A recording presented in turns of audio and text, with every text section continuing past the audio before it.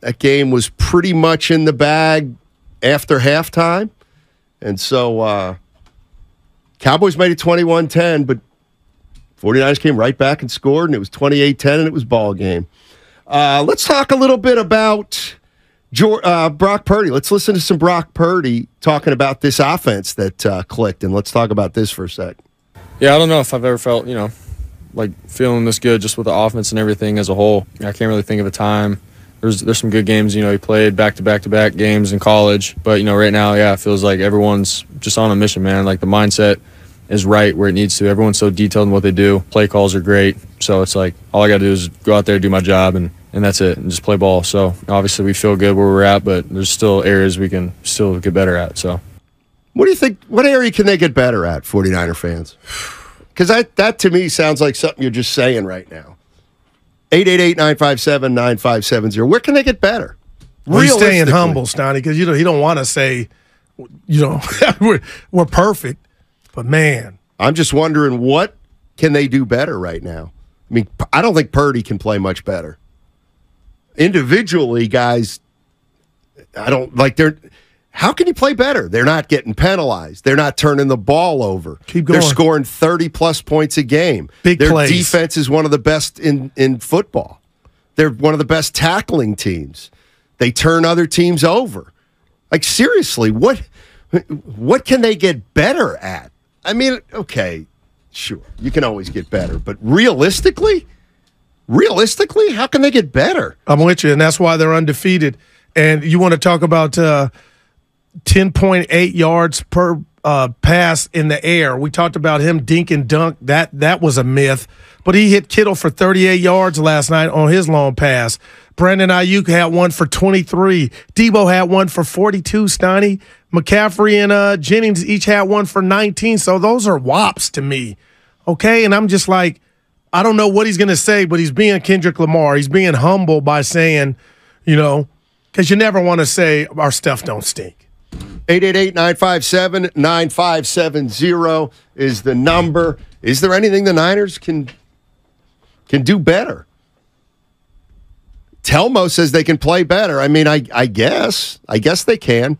But can they play better consistently like they have in the next uh, the previous five games? What's up, Telmo? How you doing?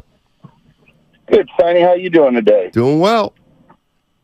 Uh, Guru, I appreciate you for for knowing uh, the realness of the situation and what was coming down the road. And you were uh, you were never a homer or front runner about all day. It, even though pe- people gave you heck, but you uh, you you were a professional and you knew that they were going to be outmatched. Um, in terms of you know he he is being humble, and that's a good attitude to have because to be humble means you're willing to put in the work and even in a performance like that, see the areas where you can still improve. And I think unless a team defensively gives up zero points and scores um, seven points on every single possession they have the ball, they can always be better. Um, but I think from the standpoint of yesterday's game, Christian McCaffrey had uh, one of his lowest rushing outputs, um, I think maybe ever in, in, a long time since since he's been a Niner. Um, and that could be an area of improvement. Uh, Brock made some throws that I'm sure he'd love to have back. Um, they had a fumble um, they gave up that big pass over the top on defense. So yeah, I mean they were dominant, and and I and I think as good as the Niners looked, I think they uh, Dallas looked you know poorly, and I don't know if one was a result of the other or if it was just a combination of both. But I think if you're a team that has uh, Super Bowl ambitions and you're looking to be the one lifting the trophy at the end of the year, you always have to be willing to be humble get like Guru says, get back in the lab and work on the little things that are going to make you a better team. There you go. Good call. Appreciate the call. Uh, Veggie Delight on the uh, First NorCal Credit Union YouTube chat says maybe they could get to the quarterback. They're getting better and they're getting closer, but Stoney, maybe they could get closer to the quarterback. Now, I thought Bosa had a sack, but it was a half a stack. Him That's and it? Yeah, half. Oh. But they sacked Dak three times. So he he still times, he doesn't have two sacks in his last eight games. He only has one and a half. One point five. They got to Dak three times. How many points are they giving up a game? Do you have those numbers in front? No. Ten against the. I guess I could just look at the. Seventeen to the Rams. I guess what I'm saying is I mean, I know they can. There's plays here and there, but they're def. So they're giving up. See, this is where this is where they're taking something away. Like that, and I'm talking about the other team. Okay, the 49ers sack wise, they haven't been as dominant sack wise, but they're only giving up 13 and a half points a game. Man. So like with all who cares? Like who cares? Maybe what's happening is teams are getting rid of the ball so quick, they're not allowing the 49ers to get sacks because hmm. you can prevent a team from getting sacks if you want, if you want to throw quickly. I think that's what the Giants did a lot. And the 49ers linebackers still keep everybody in front. No doubt. It, I mean, it doesn't matter if you're not getting sacks, if you're not giving up a lot of throws downfield. See, I like that you said that because I kind of didn't know, and we had talked about it. If we were actually seeing just a little regression from the D line, Steiny, it was still good enough because this offense is just on steroids. But when you cite those numbers, and I watched the game last night, that nah, this defense is still stout, man.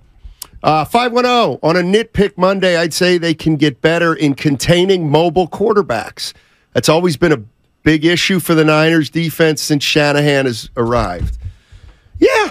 And I always Well, say, Dak had one carry for two yards. well, I always say, uh, Looked slow as molasses, too. yeah, he didn't look that great, I don't think. Um, I mean, to the mobile quarterback thing, I, I always feel like, well, mobile quarterbacks give a lot of teams trouble. That's why everybody wants one.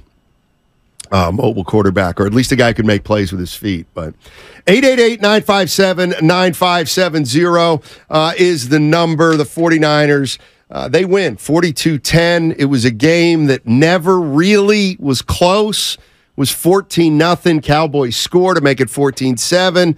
You figure, okay, right there, if they can get a hold, maybe we got a game. They not only didn't get a hold, they gave up a touchdown. Next thing you know, it's 21 7 at half. Uh, night, night, night, night. And the Cowboys um, got beat. Three interceptions for Dak Prescott, none for. None for uh, Brock Purdy. Who's more mobile of a quarterback, Dak or Brock Purdy? At this stage, I'm to say Brock Purdy.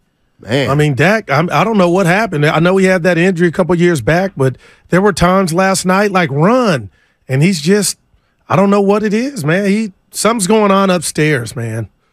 here's more Brock Purdy on uh, having a balanced offense and trying to spread it around. Yeah, he was doing a good job just calling plays where I could just, you know, take a quick drop, get the ball out, get into a rhythm. And, um, you know, so obviously I, for me, I'm always like, yeah, I'm willing to throw every down. But, um, you know, just in terms of having a balanced offense, run the ball, it's what we have to do. And so, yeah, I felt good early on. I actually felt like, you know, I missed a couple throws just with BA, um, some opportunity balls um, early on that I wish I had back. But outside of that, got into a rhythm and we were able to roll. So, yeah. So, Just, man.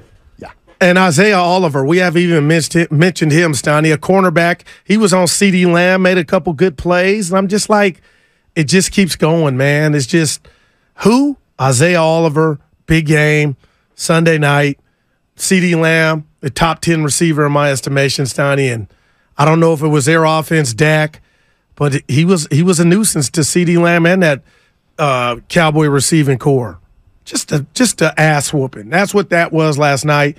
Again, I saw it coming, but that even surpassed what I thought. And never go full. Jeff had something great on the YouTube chat. He felt like, and I talked about it, that playoff game where Dan Quinn actually got the dub, Steiny, holding the Niner offense and McCaffrey to 19 points, even though Dallas didn't win the game. I felt like on the way home, Kyle probably drove home like, man, you know, he, he threw some monkey wrenches in what I wanted to do. That that wasn't the uh, production I wanted, and he just was saying he felt like Kyle was kind of making it a point to go after Quinn and that unit last night. Now I know there was no digs, but boy did they! And Steiny open receivers all night long. It felt like that. I mean, there were there were guys wide open, and Number one defense, my ass. That's what the Niner players felt like offensively. Were saying and Purdy was putting the ball right in the uh, what we used to call the breadbasket, ladies. and again.